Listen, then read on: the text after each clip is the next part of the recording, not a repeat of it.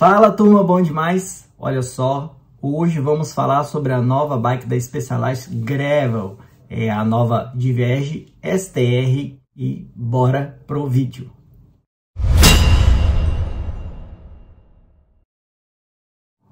Então pessoal, foi lançada essa semana essa linda bicicleta da Specialized, que é a Gravel, né, Diverge STR, e ela o nome dela já vem falando que é Expert. Né? Expert é esperta, uma bicicleta que tem que ser esperta. Então eles vieram com o conceito de colocar mais uma nova bicicleta na linha da Specialized, que eles têm duas Gravel, se eu não me engano, e realmente a Gravel vem dominando muito o mercado e a qualidade da empresa é incrível sobre todos os produtos que eles lançam. Então, foi lançado essa semana, a gente viu em várias mídias sobre o, o novo Shocks, né, que é o novo amortecimento traseiro da bicicleta, que chamou muito atenção. É, muitos, muitas pessoas já falaram coisas positivas e muitas falaram coisas negativas sobre o lançamento do choque traseiro. Bom, é, ela acompanha normalmente né, a, na parte dianteira do amortecimento, que é um choque de 20 milímetros, que fica ali entre o avanço para ajudar no amortecimento das pancadas na mão. E ela veio com esse lançamento incrível que é o choque traseiro de 30 milímetros.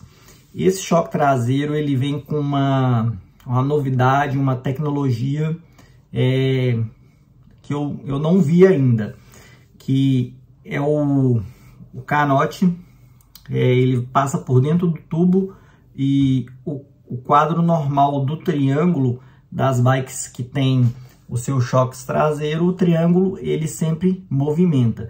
E nessa Gravel Diverge, é, o triângulo ele fica ele fica é, estável, não, não mexe. O que mexe é o tubo.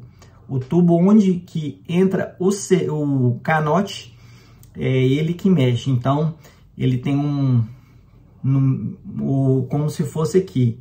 É, ele vai estar tá movimentando entre o quadro, dessa forma.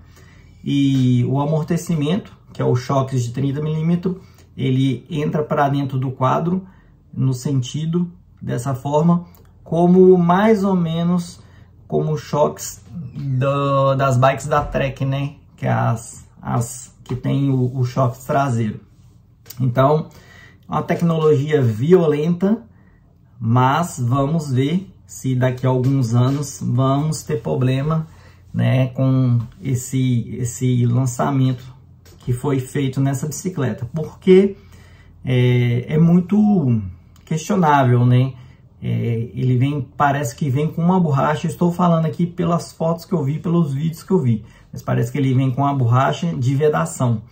E nessa borracha pode ser que, se for uma borracha, né, que, que seja um pouco é, mais mo mole, né, alguma coisa assim, possa vir com certeza a entrar muita sujeira para dentro do tubo.